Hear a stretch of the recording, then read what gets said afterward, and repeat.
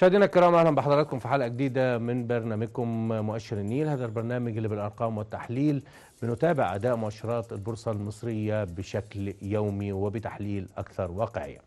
اليوم الأربعاء آه، طبعا آه، واصلت مؤشرات البورصة أدائها المتراجع لدى إغلاق التعاملات.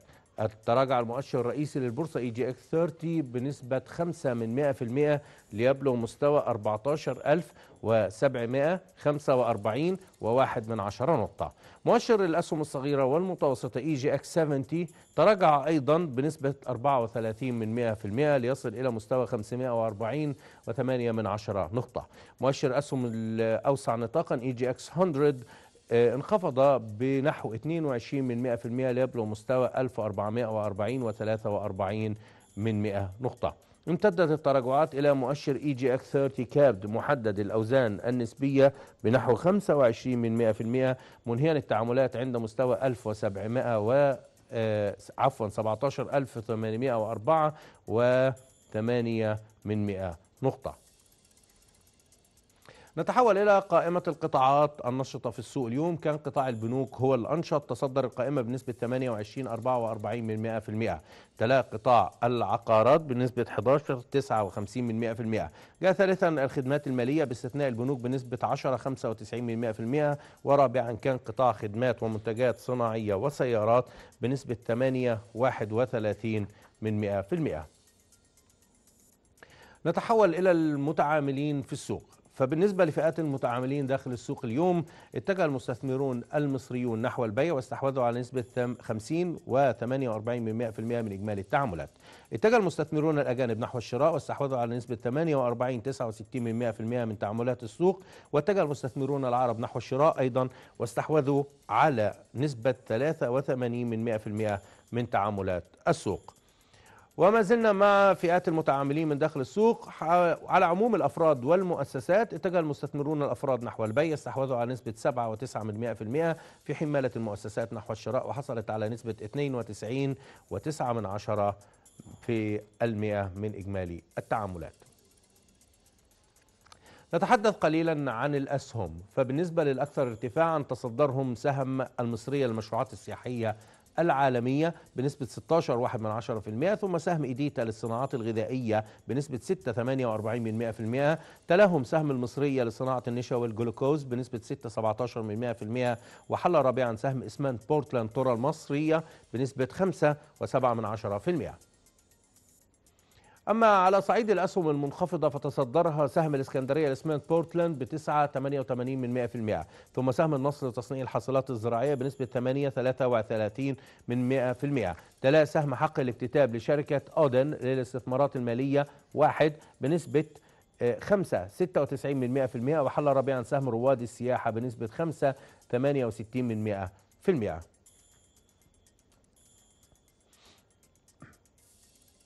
هذا وقد انخفض رأس المال السوقي لأسهم الشركات المقيدة بنحو نصف, آه، نصف مليار آه، جنيه آه، من قيمته ليغلق عند مستوى 738.2 مليار جنيه. بعد تداولات كلية بلغت بنحو 4.4 من عشرة مليار جنيه وبالتأكيد كان هناك نقل ملكية وسندات أسهم وسندات عفوا. وسننتقل لفقرة التحليل ولكن قبل أن ننتقل دعونا ننتقل إلى تقريرنا اليومي وأعرف ضيفي في الاستوديو معي الأستاذ أحمد عبد الفتاح خبير أسواق المال. أهلا بك يا أستاذ أحمد نورتنا. أهلا بك يا أستاذ حسام. اسمح لنا نخرج بس لتقريرنا اليومي ثم نبدأ فقرة التحليل. تفضل تفضل. واصلت مؤشرات البورصة المصرية تراجعها لدى إغلاق تعاملات اليوم مدفوعة بعمليات بيع من قبل المؤسسات وصناديق الاستثمار المحلية فيما اتجهت تعاملات الأجانب والعرب نحو الشراء. وتراجع مؤشر البورصة الرئيسي EGX 30 بنسبة 5 من 100% ليبلغ 14745 وواحد من عشرة نقطة. وهبط مؤشر الأسهم الصغيرة والمتوسطة EGX 70 بنسبة 34 من 100% ليصل إلى 540 وثمانية من عشرة نقطة. وانخفض مؤشر EGX 100 الأوسع نطاقا بنحو 22 من 100% ليبلغ 1440 و43 من 100 نقطة. وسجل رأس المال السوقي لأسهم الشركات المقيدة بالبورصة مستوى 738.2 من عشرة مليار جنيه. من ناحية أخرى أصدر الدكتور محمد عمران رئيس هيئة الرقابة المالية القرارين رقمي 123 و 124 لسنة 2019 يتضمنان تعديلا في قواعد قيد وشطب الأوراق المالية لضمان تمثيل العنصر النسائي في مجالس إدارة الشركات المقيد لها أوراق مالية بالبورصة المصرية. وكذلك الشركات العاملة في مجال الأنشطة المالية غير المصرفية. يأتي ذلك في إطار العمل على تحسين ترتيب مركز مصر في تقرير مناخ الأعمال. واتساقا مع منهج الهيئة في تحقيق التنمية المستدامة وتمكين المرأة من التمثيل في عضوية مجالس إدارة الشركات الخاضعة لها. تابعنا مع المشاهدين الكرام هذا التقرير السريع حول أداء مؤشرات البورصة المصرية اليوم ونبدأ فقرة التحليل مع ضيفي في الاستوديو الأستاذ أحمد عبد الفتاح خبير أسواق المال. أستاذ أحمد مرحبا بك مرة أخرى.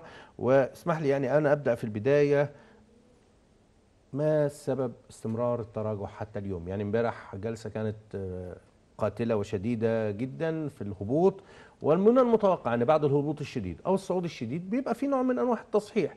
يعني النهارده كنا متوقعين إن إحنا نطلع. صحيح الهبوط النهارده بالذات في الثلاثيني نسبة ضئيلة 5% لكن كان الناس متوقعة إن الأمور تظبط بس النهارده شوية على الأقل ونبدأ نتذبذب قليلا. شايف أداء النهارده إزاي وإيه ارتباطه بأداء هذا الأسبوع؟ تمام. بسم الله الرحمن الرحيم. هو طبعا ال- النزول اللي حصل امبارح ده كان نزول قوي جدا جدا. واقدر أقول يعني احد مسبباته ال- ال- التوتر اللي حصل مثلا زي موضوع ارامكو اللي حصل في السعودية. آه، طبعا بيأثر فينا شوية يعني. آه، في برضو الناحية الثانية اللي ممكن تكون ليها تأثير أكتر آه، المفاوضات على سد النهضة. ده ممكن يكون من الآثار السياسية اللي مأثرة على ال على ال ال- الشعور بالأمان بالنسبة للمستثمر فبيعمل عملية خروج عشوائي لل- للسيولة بتاعته. بس للأسف هو دلوقتي أنا ملاحظ إن الأجانب أو العرب مستغل الهبوط في إن هو بيبني مراكز شرائية والخوف ده متصدره بس الموقف فيه متصدره المؤسسات المصرية والأفراد. مم. يعني حالة الهلع أنا شايف إن هي مبنية عندنا إحنا بس إنما العرب والاجنبي طب ده بي دايما بيدفعني لسؤال. إحنا عارفين وقلنا الكلام ده كتير. يعني إن الأجانب ليهم استراتيجيات دايما في الصعود في الهبوط في هو حاطط نقطة أو نسبة معينة للمكسب أو للخسارة وبيطلع عندها. حتى لو ال potentials أو ال- الأمور مفتوحة قدامه إن هو يكسب أكتر من كده بس هو بيبدأ خلاص وبيبدأ يعيد محافظه الثقافة ديت كانت عند الأفراد المصريين العكس تماما الهلع و واتنقلت للمؤسسات اللي دايما إحنا بنشوفها عكس ماشية عكس التيار كأنها فرد من الأفراد. وهي المفروض إن هي تبقى ماركت ميكر بالظبط كده. ليه؟ هو لغاية دلوقتي أنا مش عارف المؤسسات بتاعتنا إيه إيه الاستراتيجية الجديدة اللي إحنا شايفينها. في السوق المصري إن هي بقت مضاربة بحتة. إن النهارده لما نيجي نحسبها بالورقة والقلم حتى لو بالفلوس كده هنحسبها اللي بيقعد في السهم النهارده كمستثمر متوسط أو طويل لا هو بيحقق خسارة. المضارب النهارده بقى بيحقق مكسب عنه. إن هو بقى بيخش ويخرج آه، بيعمل 3% 5% سريع سريع وبيلحق يخرج. غير اللي قاعد فبتجمع معاه اللي قاعد مستثمر وقاعد مثلا بيبص إن أنا كمان سنة ابتدي أبص على السهم ده بناء على مثلا التحليل المالي أو. التحليل الفني بيلاقي نفسه إن هو بيعدي شهر في التاني في ست شهور في ثمان شهور بيلاقي نفسه بالعكس هو خسران حتى لو المحفظة آه، مش محققة آه، نزول في القيمة بس على الأقل لو الفلوس زي ما هي ثابتة ما فيش لو. حطوهم في البنك هياخد 15% بالظبط. زي يعني ما اللي أنا قالوا. اللي أنا الفلوس بتزيد تمام وقد تكون فيها. خسائر طفيفة. بس في النهاية كاستراتيجية إن أنا مستثمر طويل أو متوسط لا هي ما بتحققش ال- المرغوب منها زي eلاول مم. كان الأول ممكن الواحد بيقعد في السهم بينساه يلاقي نفسه عامل 300% 500% وفي أو أحياناً- طالع له كوبونات بمبلغ. كويس بيلاقي نفسه إن هو. السهم بقى واقف عليه بماينس يعني لو باع الشركة في أي هبوط في أي حاجة. الموضوع بالنسبة له لا- يعنيه في شيء لأن هو محقق مكاسب عملاقة. طب خليني أسألك ده عيب مين؟ ده يعني هل السوق المفروض إن هو يبقى كده؟ هو المفروض سوق الأسهم سوق ال- البورصة عموما في أي حاجة هو سوق لتداول الأوراق تداول السلع تداول الفلوس وإن الناس تحقق فيها مكاسب وإن الناس تبقى مبسوطة وإن الناس يبقى الشغل على طول لأن ده جزء من الاقتصاد. والسيولة والحركة ديت دي بتنشط الاقتصاد أكتر. تمام هي اولا البورصة فقدت ال- المهمة الاساسيه الوظيفية. بتاعتها ودي للأسف بسلوكيات ال- اللي دخلت علينا زي موضوع المارجن السلوكيات اللي بقت جديدة على شكل المؤسسات المصرية إن هي بقت آه، مضارب.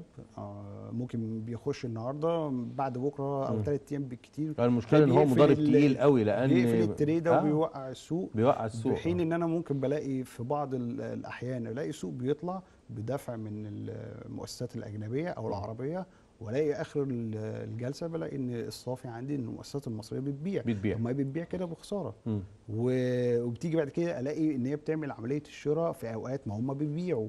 فواضح إن والتانيين كسبانين. بالظبط.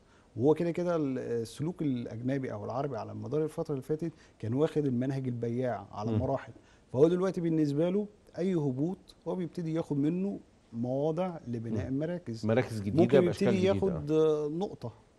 مش لازم ياخد ال full position فبياخد نقطة. كل ما بينزل ياخد نقطة كل ما ينزل. ياخد نقطة. فكده هو بيبني محافظه تاني تراكميا لتحت. مم. أنا بديله المساحة إن هو يكسب عليا. أنا بقيت عامل زي زي الفرد. بقيت بعمل آه، نوع من أنواع الهلع بدون داعي. يعني للمصريين بالذات. لو أنا هتكلم النهارده لو آه، هنحلل الاقتصاد الكلي للدوله لا البورصة ما- بعيد كل البعد تماما عن مم. الاقتصاد مفيش الكلي. ارتباط. مم. مفيش أي ارتباط. أنا النهارده ما عكستش أي حاجة من اللي حصلت على أرض الواقع. مم. لا من مشاريع عملاقة اتفتحت أو من مصانع جديدة. وفي منها اللي هو مقيد عندي عامل نشاطات جديدة عملاقة مش باين على السهم بتاعه. عندي مثلا فايدة لسه نازلة طبعا فوق المتوقع. بالنسبة للكل ونص كان في المية. الكل بيتكلم في نص واحد.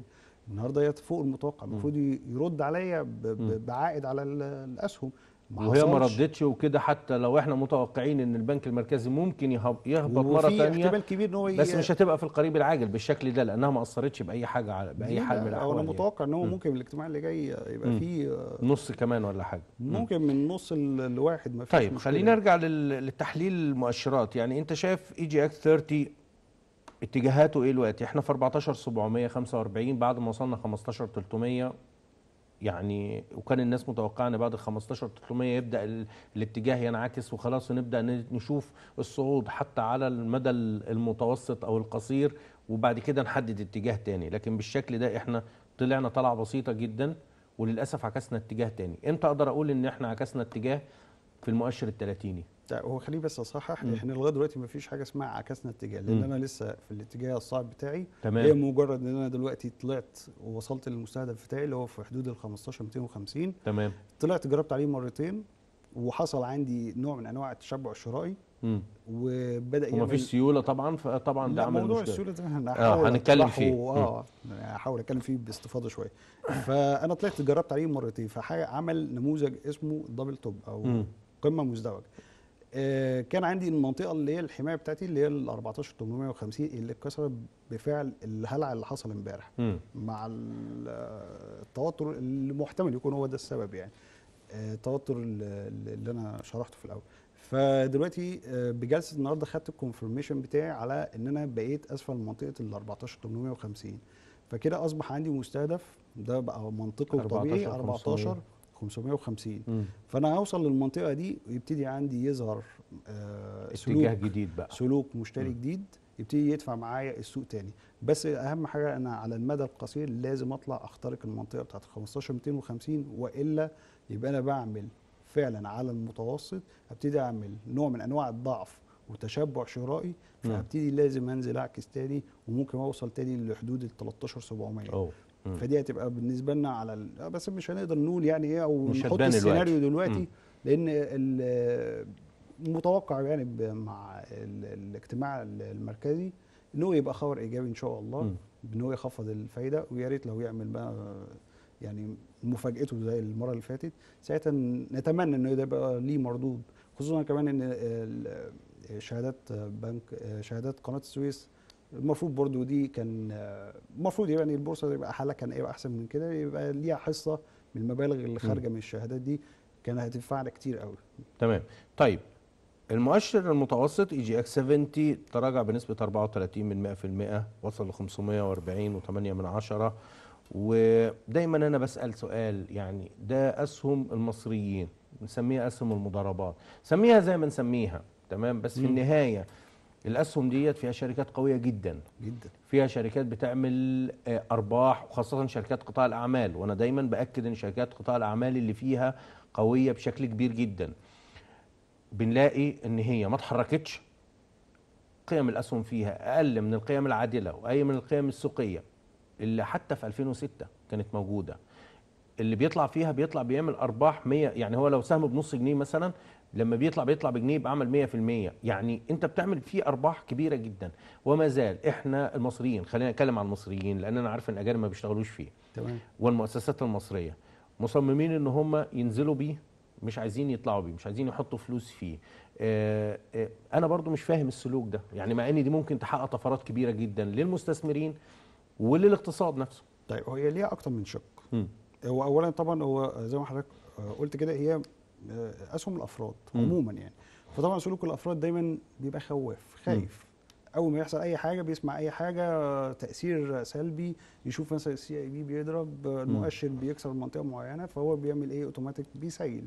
مم. بناء على ال ال الترند اللي ماشي في السوق. مش آه. الترند. مم. يعني إحنا برضو خلينا نقول إن إحنا على مدار سنة ونص إحنا كنا بنعاني وأكيد كنت حضرتك مم. معانا في الفترة دي وشفت المنظر كنا عاملين إزاي. فكانت معاناة. فالنهارده كل واحد بيقول إيه خسارة قريبة مم. بس ما أخشش في الدوامه إن أنا نزول نزول نزول آه. نزول نفس الدوامه اللي فاتت فبيبقى نوع ال- الهلع هو ده اللي بيسيطر على القرار حتى لو خطأ وهو ممكن يكون عنده يقين إن هو بيتصرف غلط. بس بيقول إيه الله أعلم. يمكن دايما يقول لك خسارة قريبة ولا مكسب بعيد آه يمكن العجلة تلف بيا. لأسرع من كده لتحت. ده الشق الأول مم. الشق الثاني أنا النهارده لما أجي أتكلم لو آه، آه، لو يعني مثلا نقول آه، ننادي على المسؤولين نقول لهم لو أنتم بتلاحظوا الإفصاحات آه، في عندنا في الشركات اللي هي بتاعة الأفراد دي. كل يوم أو كل يومين بيطلع عملية إفصاح عن استحواذ عن نسب جوه الشركات ده معناه إن اللي إحنا بنبيعه برخص التراب أكيد في ناس تانية شايفاه إنه دهب. أقل أقل أقل بكتير من قيمته الحقيقية.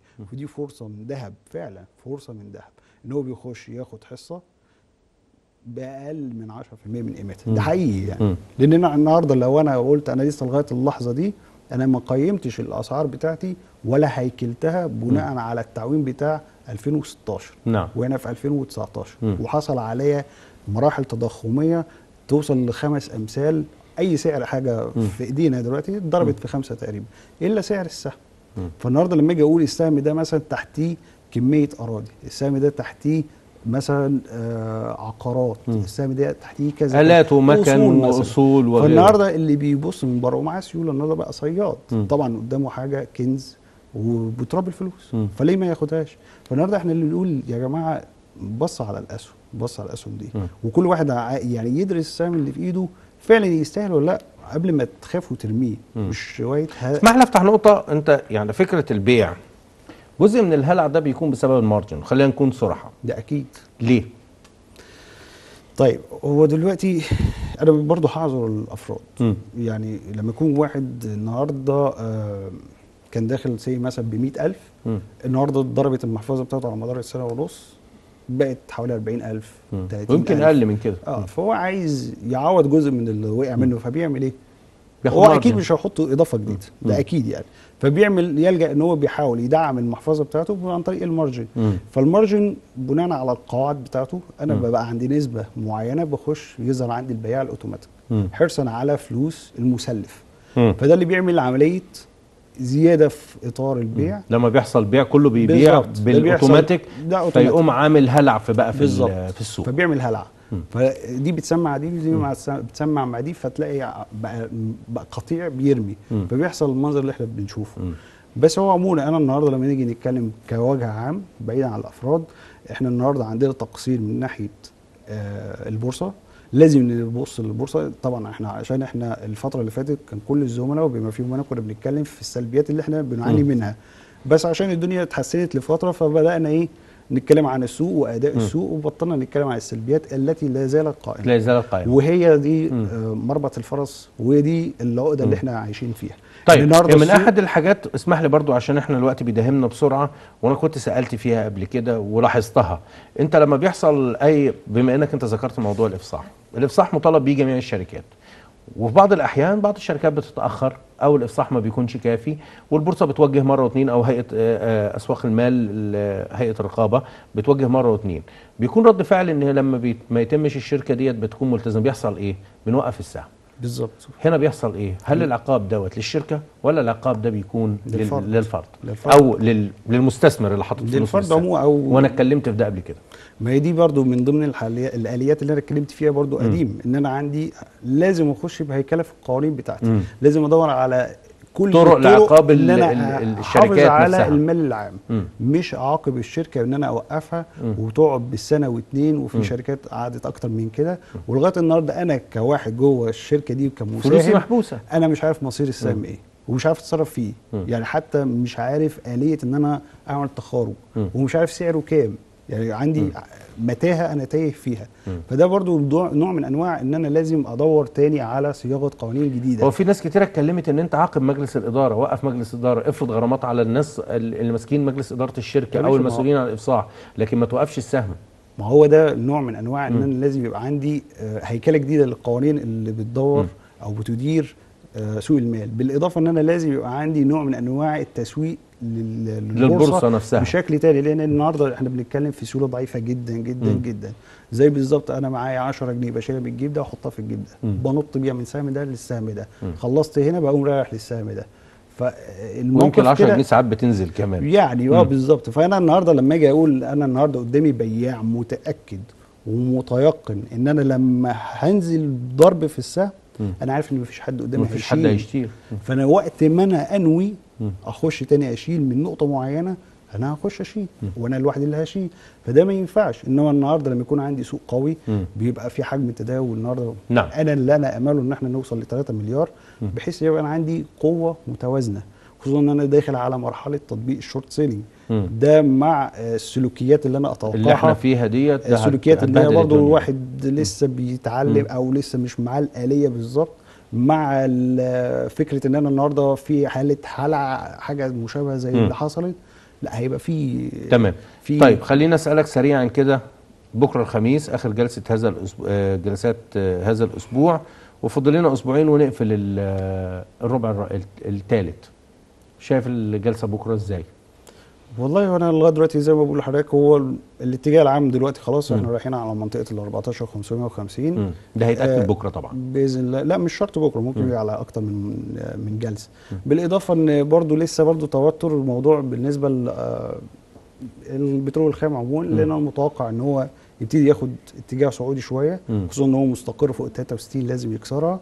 باستمراره فوق ال 63 أنا شايف إن هو بيستهدف 85 دولار فده ممكن يعمل معانا آه، تنشيط لبعض القطاعات جوه عندنا في السوق مم. ده ممكن يبقى ده مؤشر لبعض الورق اللي يخص البترول البترول آه، بالنسبة لل للفايده الفيدرالي النهارده هيجتمع.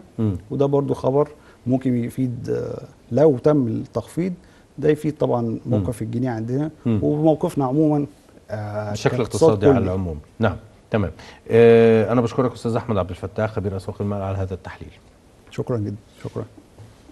شكرا موصول لحضراتكم مشاهدينا الكرام على متابعة مؤشر النيل اللي بيعمل يوميا مع البورصة المصرية لتحليل أكثر واقعية. تابعونا دائما.